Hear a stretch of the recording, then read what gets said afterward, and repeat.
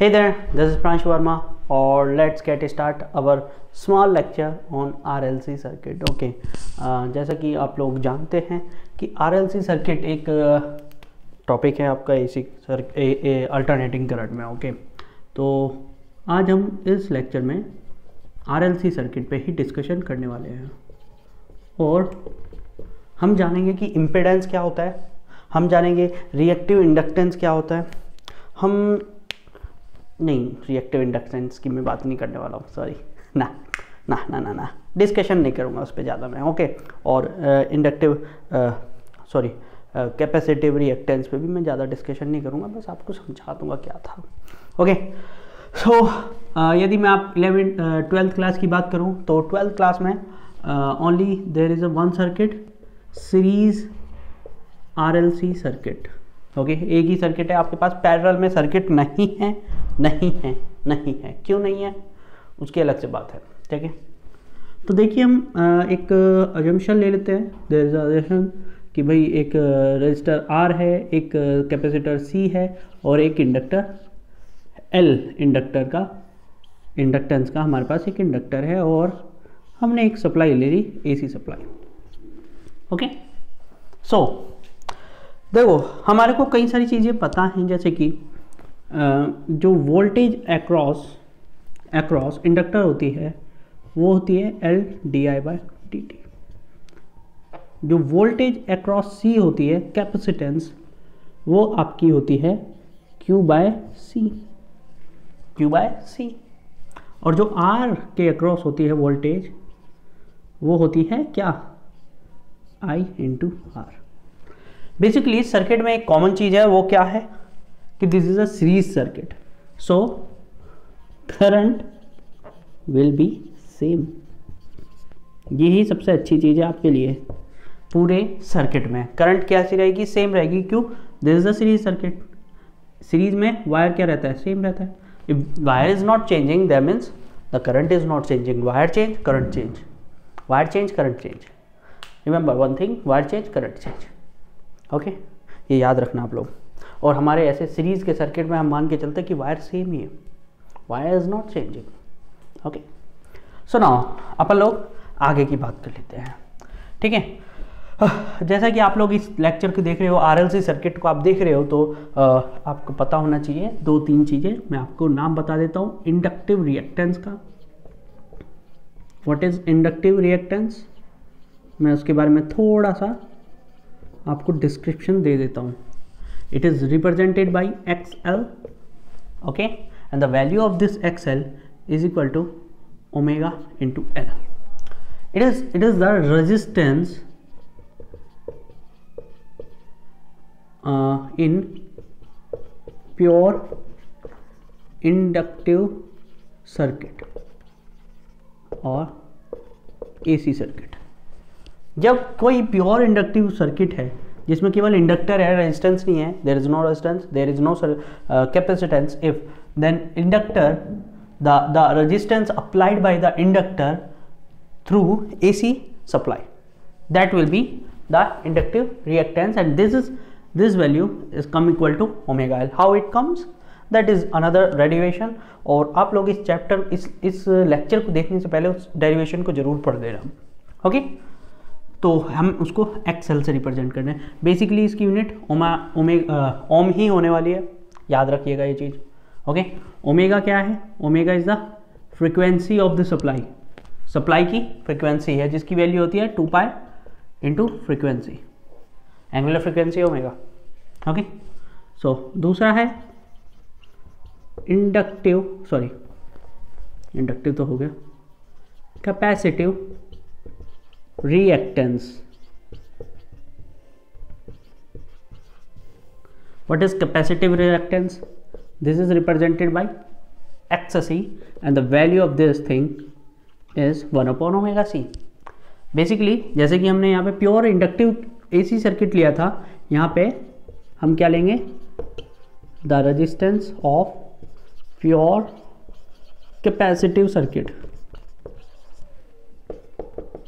and the circuit should be AC circuit okay मतलब ना inductor है ना रजिस्टर है only C is there and the the resistance applied by the capacitor will be xc and that will be equal to 1 upon omega c okay so now uh, let's see what is the what is the formula for RLC series circuit okay so let me remind uh, these things these two things inductive reactance XL and capacitive reactance XC okay दोनों ही resistance है तो दोनों की unit ओम ही होने वाली है अदर यूनिट नहीं होने वाली ओके सो so, uh, आप लोगों को ये भी याद होना चाहिए कि pure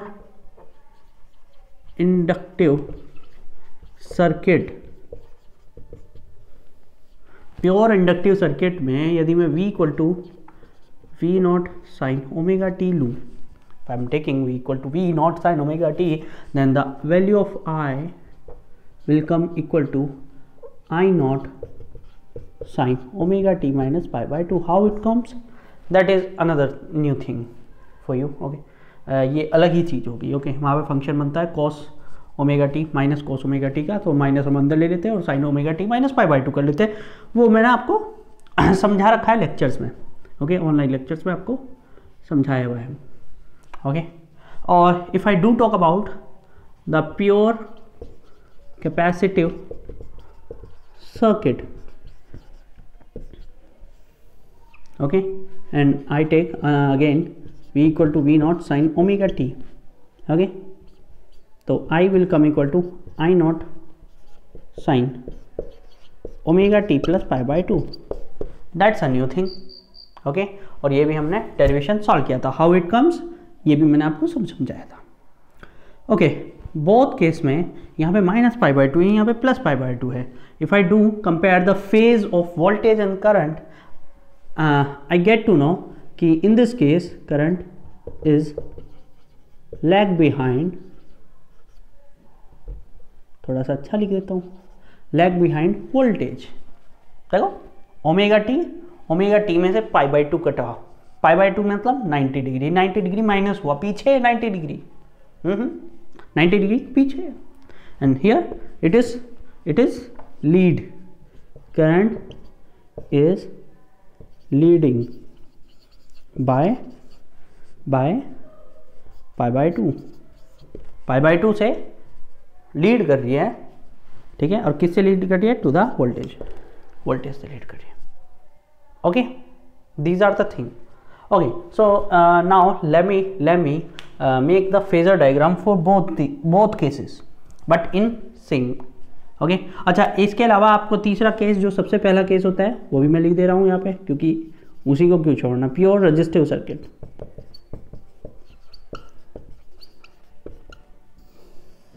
pure resistive circuit में क्या होता है? कि if V is equal to V nought sine omega T then I will again equal to I nought sine omega T मतलब यहाँ कोई फ़ेज़ नहीं है। जिस डायरेक्शन में वोल्टेज जा रही है, उसी डायरेक्शन में करंट भी फ्लो करेगी।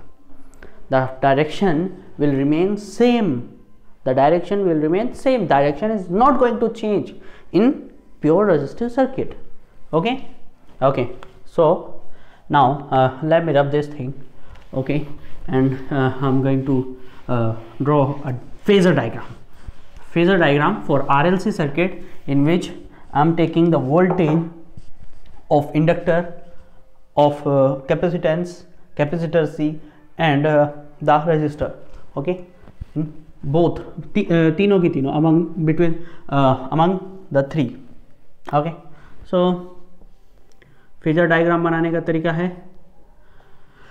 ये okay so let the voltage across R is VR voltage across C is VC and voltage across inductor is VL.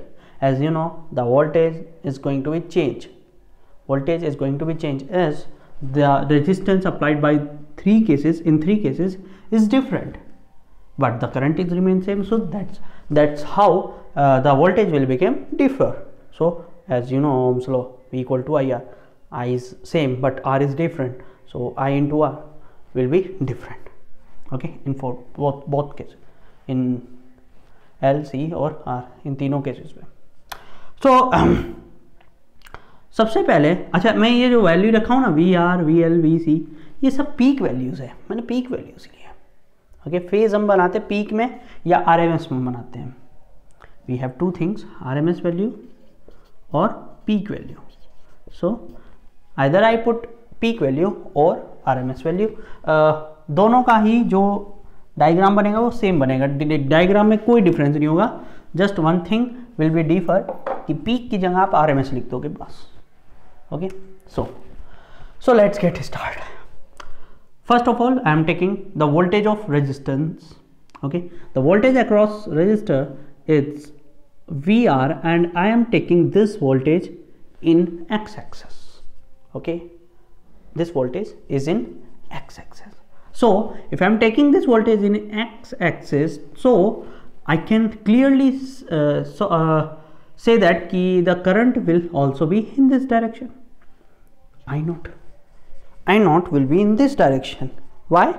Because because in same phase voltage and current is in same phase in the in case of resistor and and we know the current will going to be same in three all cases the, the, the direction the or the phase of the current is not going to change in C or L or R okay so current is same current की direction हमको मिल गई है वो same रहेगी x axis में okay जिस phase के साथ वो आर में घुसी थी रजिस्टर में एंटर की थी उसी फ़ेज़ में वो तीनों में जाएगी उस टाइम पे ओके कि वैसे चाहे वी बदलता रहे आर बदलता रहे सॉरी चाहे कैपेसिटेंस बदले आर एल बदले सी आर बदले, कुछ भी बदले, उसको कोई फ़र्क नहीं हटता करंट यही रहेगी। Okay so now next thing is C what is C the value of C is C की वैल्यू क्या है, याद करो? वोल्टेज सी की क्या थी, जरा याद करो? V nought sine omega T अभी लिखी थी मैंने। और आई की वैल्यू क्या थी? सी के लिए I naught sine omega t plus pi by two okay so I can say that कि this is I this is I naught my my I naught so my voltage my voltage देखो phase difference कितना है? Pi by two का है. The phase difference is pi by 2 and I clearly see that कि I is leading. I आगे होगी. I घोड़े में आगे दौड़ेगी. And we we we studied like this like this. Like this ये पीछे है, ये आगे है। ये पीछे है, ये आगे है। ये पीछे है, ये आगे है। ये पीछे है, ये आगे है। समझ में, मैं क्या कहना चाह रहा हूँ? करंट आगे है, इसका मतलब उससे पीछे बन जाओ। This will be V C this will be your V C this will be the phase phase for V C this will be the phase for V C okay phase V C voltage across the capacitor will lag behind the current across the resistor. Okay? By pi by 2 by pi by 2 as we can see here. Okay? Okay? बहुत आसान है? Okay चलो अच्छा चलो और ये देखो। फो inductor आगे क्या है? इंडक्टर है। इंडक्टर के लिए क्या कहानी थी? द कहानी फॉर इंडक्टर इज़ लाइक कि I equal to I naught sine omega t minus five by two that was the कहानी। When v equal to v naught sin omega t that means right now the current is lagging in capacitor voltage is lagging in uh, in inductor the current is lagging okay current पीछे है मतलब आपको inductor को यहाँ आना पड़ेगा in here here the inductor will be on positive y axis that's why we take we take vr or ir in x axis so make to make the phasor diagram easy so easy now now phasor is like a property uh, in which we can uh, treat the scalar quantity as a vector quantity yep we can find the values of scalar quantity by using the formulas of vector quantities या parallelogram we can use okay हाँ अपन लोग parallelogram use कर सकते हैं only for addition और subtraction whatever this thing for the resultant basically okay हम यहाँ पे dot product cross product use नहीं कर सकते। वो गलत हो जाएगा, लेकिन हाँ हम पैरेललोग्राम यूज़ कर सकते हैं। तो phasor phasor makes a scalar quantity as factor quantity you can say that thing but it is not not the right thing okay okay so so so see यहाँ से वी नेट की मैं बात करूँ तो वी नेट में कैसे निकालूँगा? एज यू नो कि parallelogram can only be applied on two vectors okay दो वैक्टर पे लग सकता है। क्या करें? क्या करें? क्या करें?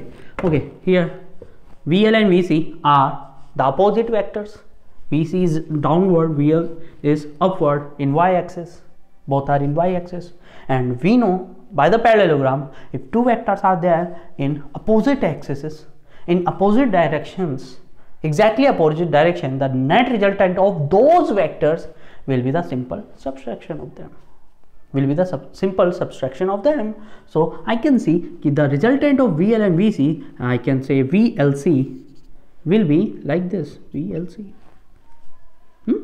on y axis direction तो सेम रहेगी ना जो बड़ा होगा उसमें से छोटा वाला घटा दो मैंने इसे मैंने मान लिया कि V C is the smaller thing V L is greater so the net resultant will be in the direction of V L V it can be in the V C कोई फ़र्क नहीं पड़ता आंसर वही रहेगा हाँ हाँ मान लो ये बात this is V R is not the changing thing the both are perpendicular to each other the resultant will be like this let's see कि let's say it it is a V V not So V naught what will be the value of V naught? Okay. Again the parallelogram. When two vectors are perpendicular to each other, when two vectors are perpendicular to each other, make them like a uh, base and perpendicular for a theorem. Hmm? उनका resultant Pythagoras theorem से आप निकाल सकते हो सीधे। What does the Pythagoras says base square plus height square का under root do this thing V naught की value क्या हो जाएगी? उनका रिजल्टेंट क्या होगा? बेस का स्क्वायर मतलब वी आर का स्क्वायर प्लस परपेंडिकुलर का स्क्वायर मतलब वी एल सी का square that's it what is the value of V L C what is the value of V L C this is the simple subtraction of and V C this is the simple subtraction of VL and VC that is the thing this is the net voltage which flows through which flows through the series R L C circuit यहाँ से जो flow करेगी ना उसकी value ये होगी ये होगी ओके नाउ हालाँकि इसका आपको कहीं पे भी फॉर्मूला यूज़ नहीं होने वाला, नहीं होने वाला, मैंने बात मान लो। क्यों? आइए बता दे रहा ओके ओके क्लियर है आपको? ओके चलिए। फेज़र को नहीं हटाता हूँ मैं। एक बार बताओ। इसको हटा दे रहा हूँ। ओके बहुत बढ़िया। इसकी वैल्यू क्या होगी? वी सी की वैल्यू याद करो याद करो। प्योर कैपेसिटिव सर्किट में यदि याद करोगे आप लोग तो आपको याद आ जाना चाहिए कि this V C will be equal to I naught क्योंकि ये मैक्सिमम वैल्यू है, ठीक है? इंस्टेंटेनियस वैल्यू नहीं है। तो I naught upon one upon omega C this was the value इसकी वैल्यू क्या थी? I naught upon omega L और इसकी वैल्यू क्या थी? I naught into R in these three cases I naught is the common thing I naught in all three cases are something same thing same thing है okay you uh, you can say this 1 upon omega c as xc and this uh, omega l is xl okay so if i do do this thing कि मैं इस यहाँ से आई को हटा दूँ so this will be this will be the resistance thing okay this will be the same phasor for resistance the phasor diagram for voltage is is similar to the phasor diagram of the resistances applied by the each of C L and R है ना respectively but similar है equal नहीं है don't word use करना भैया ठीक है यहाँ पे मैं एक्सेल लिख दे रहा हूँ, यहाँ पे एक्सेस ही लिख दे रहा हूँ। ओके सिमिलर है इक्वल नहीं है, क्योंकि उसका डायग्राम अलग बनेगा। उसकी वैल्यूज़ अलग अलग है ना वी के इक्वल नहीं है। तो सेम कैसे हो सकता है? सिमिलर है similar it seems like same but are not the same thing okay देखो XL XC both are opposite vector so the net resultant will be XL C कह सकते हो आप उसको। Okay now I am not saying that XL C मैं इसको use करूँगा। यहाँ पे आप आई आर स्क्वायर रखो, यहाँ पे आई एक्स एल और आई एक्स आर रखोगे आई आई कॉमन आ जाएगा। या यहाँ से भी आप सिंपल निकाल सकते हो और इनका जो नेट होता है उसको हम जेड से लिख देते हैं। नेट रिजल्टेंट इसी भी हाफ़ पे एकदम सेम ऐसे ही निकाल दो। बस जहाँ वी आर है वहाँ पे आर लिख दो।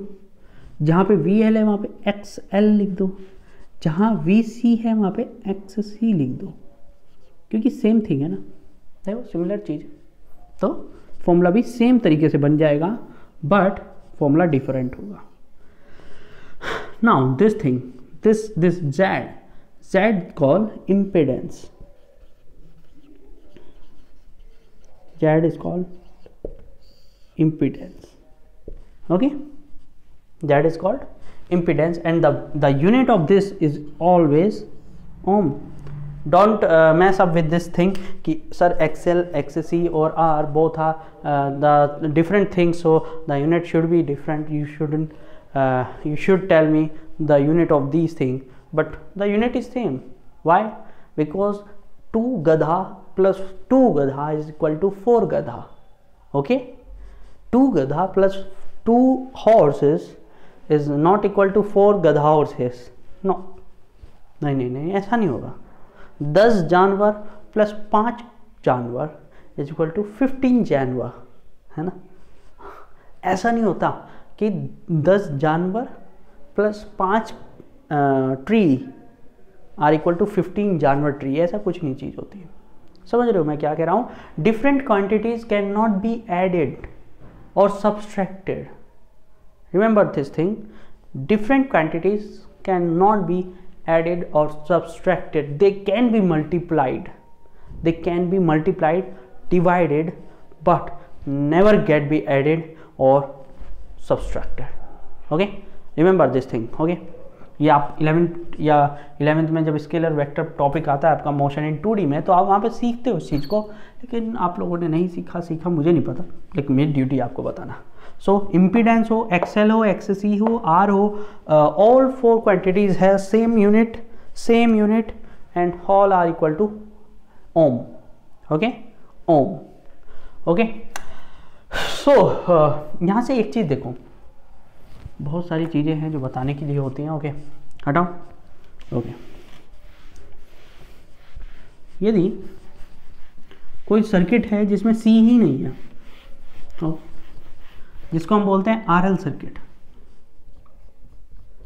Z for R L circuit Z for R L circuit for R L circuit there will be no XC क्यों? जब सी है ही नहीं तो एक्ससी की वैल्यू क्या हो जाएगी? ज़ीरो तो the value of Z will be R square plus X L square simple अब देखो टीचर्स लोग क्या करते हैं, इसके लिए अलग से बनाते हैं पूरा derivation I don't do this thing Z for R C circuit okay Z for R C circuit XL zero हो जाएगा basically so R square plus X C square okay अब जो तीसरा केस है ना, जिसमें बोलोगे आप कि सर तो फिर रेजिस्टेंस को भी हटा दो तो रेजिस्टेंस हटाना इम्पॉसिबल है। हाँ मतलब हम हटाएँगे, ऐसा नहीं नहीं हटाएँगे। Okay so Z for L C circuit ठीक है? ऐसा सर्किट जिसमें एल सी ही हो ना, वो ओसिलेशन करता है। सीखेंगे इसका भी। ठीक है? तो उसका जेड क्या होगा?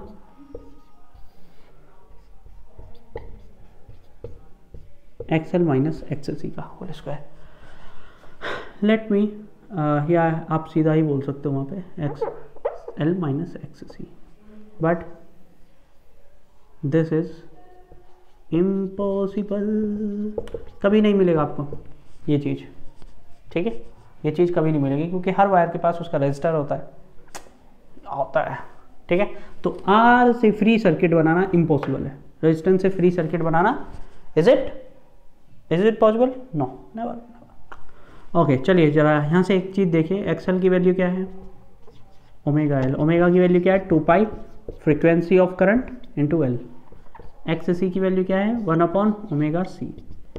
One upon two pi f C. Okay? Okay. यदि मैं एक काम कर लूँ यहाँ पे, if do one thing I make XL equal to XA बहुत इंपॉर्टेंट फिंडा है जो मैं समझाने जा रहा हूँ आपको। If I do one thing कि XL equal to X C what will happen what will happen that X L minus X C will become zero Z will become equal to R Z will become equal to R this is the condition of resonance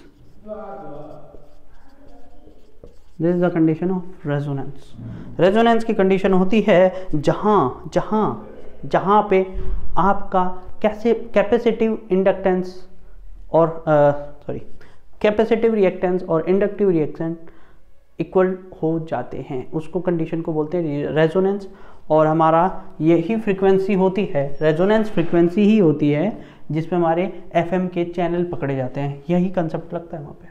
इसके बारे में अगले lecture में बात करेंगे। इस lecture में कोई बात नहीं होगी इस चीज़ की ओके सो so, बस आप लोग याद रखो कि इस कंडीशन को रेजोनेंस बोलते हैं ओके और हम लोग यहाँ से एक बात याद रख सकते हैं कि X L equal to X C है मतलब ओमेगा एल इक्वल टू है omega one upon omega C के ये इधर जाएगा ओमेगा स्क्वायर एल को इधर भेज दो। तो इसे बोलते हैं रेजोनेंस एंगुलर फ्रिक्वेंसी ओके और ओमेगा की वैल्यू आप जान रहे हो क्या है? Two pi of f equal to one upon under root L C और you can say frequency equal to one upon two pi under root L C and this is the resonance frequency इसी को pure frequency देखो वो angular frequency omega ये frequency है. Okay so resonance frequency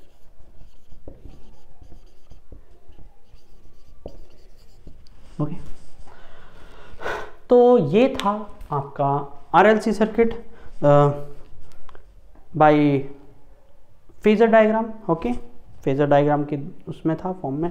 इसका derivation पूरा का पूरा, जिससे हमने समझा कि वी की वैल्यू क्या आएगी आई की वैल्यू क्या आएगी ओके आई की वैल्यू भी आप जान सकते हो। आई की वैल्यू क्या होती है? यार, याद रखा करो इस चीज़ को। The value of I will be